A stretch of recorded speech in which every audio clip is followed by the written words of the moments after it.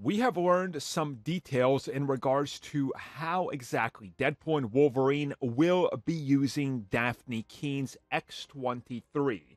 So let's talk about what's been said and what it looks like she's going to be doing in the upcoming third entry.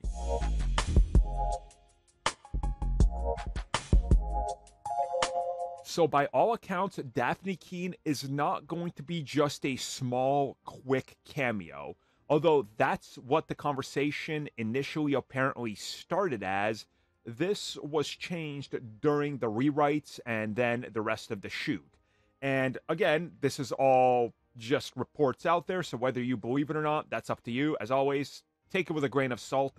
But from what we're hearing, Dafne Keen's X23 is appearing fully suited up as X23. And she will be featured in a somewhat prominent role to whatever section of the film she's in. Now, it does sound like, by one account, that she might be a multiverse variant from the future. So this could be like the Logan character years after the events of that film.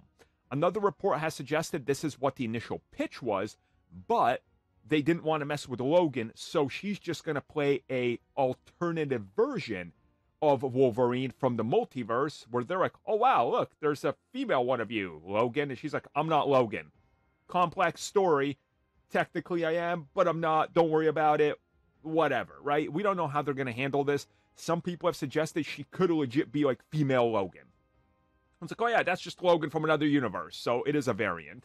Whatever they do, I trust that they're going to do it right.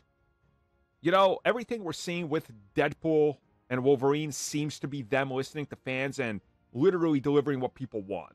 So I have a feeling that we're going to get X23 done perfectly in this. Like, I think we're going to see the suit, we're going to see the mask, apparently. We're going to see all of that. And I'm excited by that. And we're now hearing that her suit is more or less just imagine Hugh Jackman's suit put onto a woman with a couple adjustments. That's what you're going to get. Perfect. That sounds good too. Everything here sounds good almost to the point where I find it hard to believe because that's how good it sounds, right? It's like, yeah, this is literally like you're just doing what we want. And I don't know if I trust it because it sounds too good to be true. But hey, maybe it is. So that's the beauty of it, right? Um, I've said it since the rumor started, and I'll keep saying it. Give me more X23. I am all for if she remains in the MCU and just becomes Wolverine. Like, that character is great, so why not do it?